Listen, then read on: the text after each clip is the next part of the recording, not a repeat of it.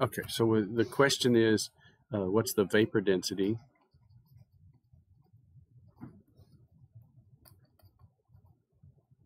of octane.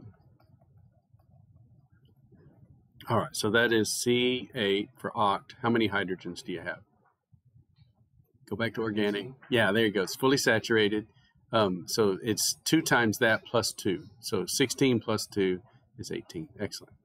So someone, while we're while we're talking, calculate the molar mass of that. So.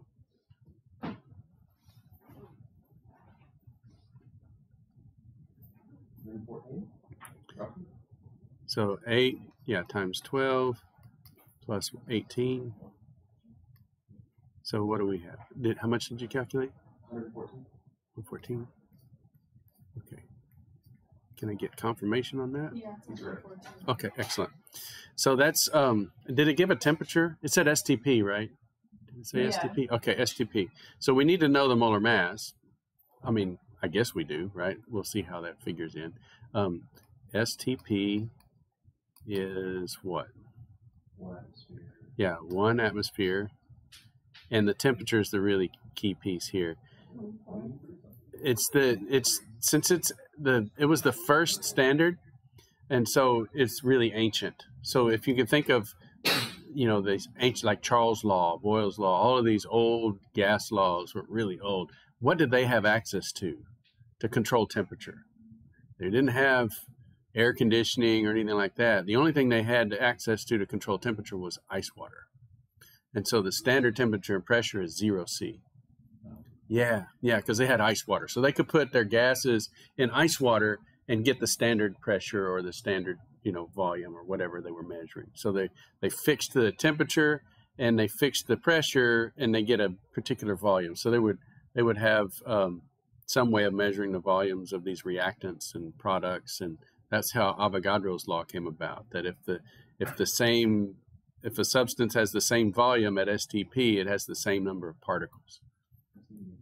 Yeah, yeah, yeah, yeah. And so that would be SATP, so standard ambient temperature and pressure. So that's where, uh, let me go ahead and write in here, 273 Kelvin, which is zero um, degrees Celsius.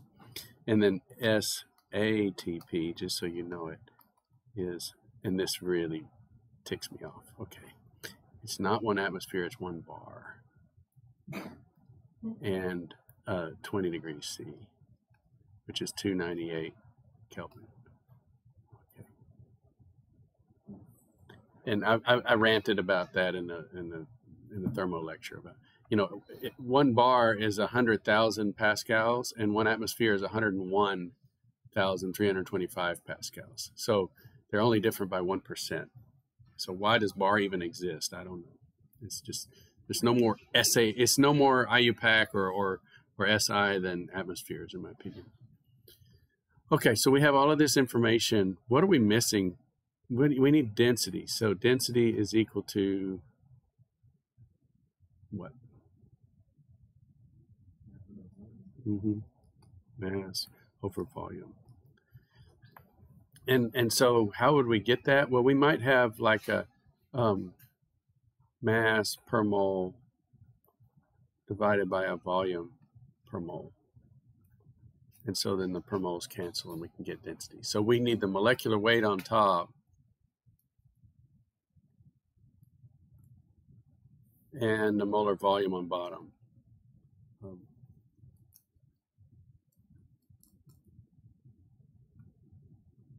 and so you can calculate the vapor density for, for any gaseous substance. If you know the molar mass and you know how much, uh, how many liters of that uh, gas is at STP, then you just divide the molar mass by the, the volume of one mole, um, and you've got the and you've got the uh, density, the vapor density.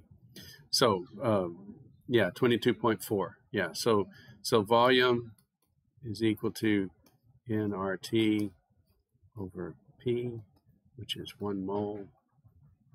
Actually, we can we can bring that in over here and the molar volume. So that would be liters per mole is equal to RT over P. And so that's, you know, standard temperature and pressure. You have everything you want right there.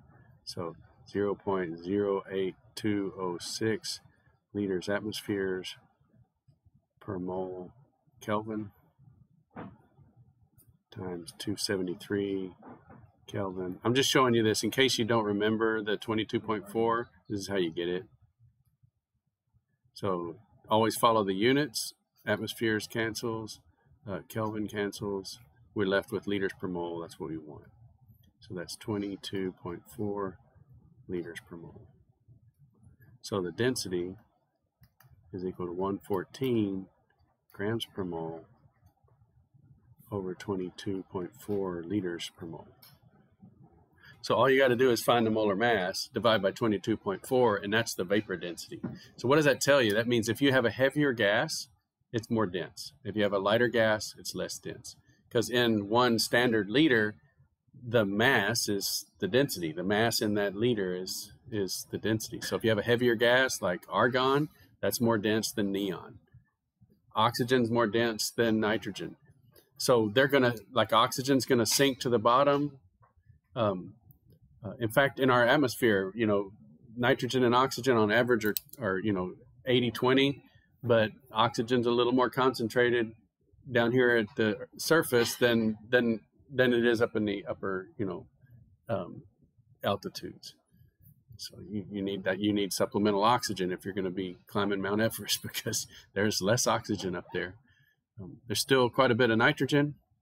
Um, at the very upper part of the atmosphere it's almost all nitrogen so nitrogen has a green emission line so if you ionize nitrogen and then it gains some more electrons and that those electrons fall back down into the atomic orbitals on nitrogen, it emits green light in the visible region. And what color is the aurora borealis?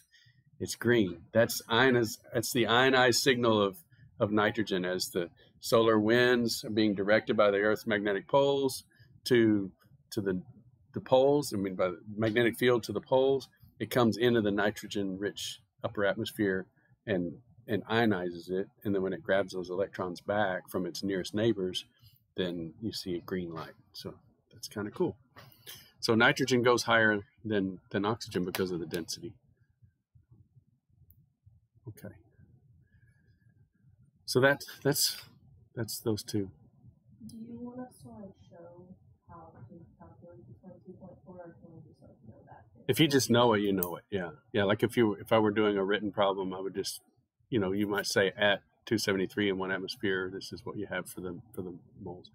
Um, the trick is when you memorize a number like that, it, that's not the same number of liters per mole at SATP. You know, if you raise the temperature 20 degrees, it's like 24 point something. And so you get another couple of liters out of it. It takes two, you know, two more liters of volume because you're at a higher temperature. Okay, I'll stop the video on that unless there are other homework questions. No, not yet. Okay.